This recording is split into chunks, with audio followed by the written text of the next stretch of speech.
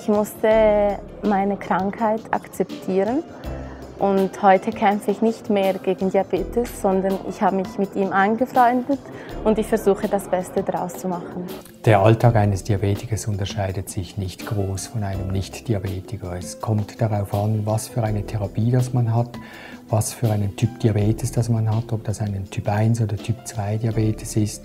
Eine Diabetesberatung ist ein Zusammenspiel zwischen drei Fachpersonen. Der eine ist der Diabetologe, die Ernährungsberatung und die Diabetesberatung.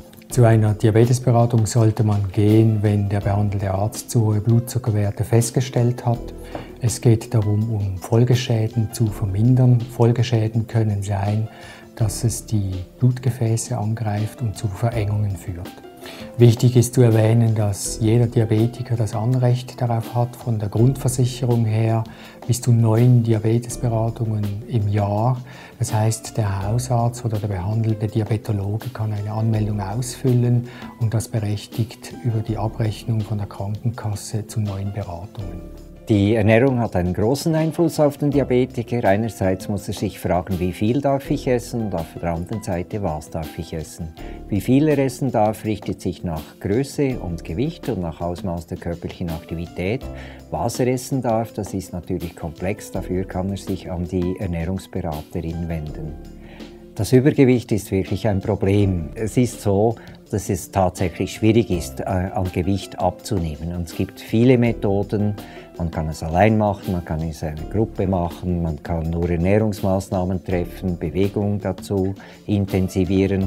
Am erfolgsversprechendsten ist sicher, wenn man es ganzheitlich angeht, mehr Bewegung, gesündere Ernährung und das in einer Umgebung macht, die Spaß macht.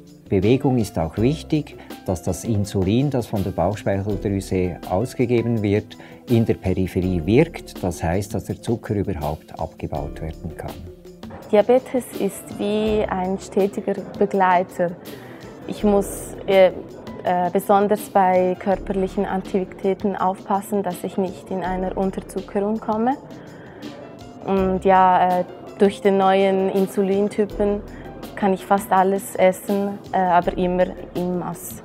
Einen Diabeteserkrankten zur Lebensstilveränderung anzuregen, ist auch häufig schwierig. Manchmal kommen allerdings die Patienten und wissen, dass sie etwas verändern wollen. Wenn nicht, dann sind unsere Motivationsfähigkeiten gefragt. Wir müssen ihm Möglichkeiten aufzeigen, wie er, ohne an Lebensqualität einzubüßen, bei Lebensfreude eigentlich seinen Lebensstil so verändern kann, dass er sich eben mehr bewegt, gesünder ernährt.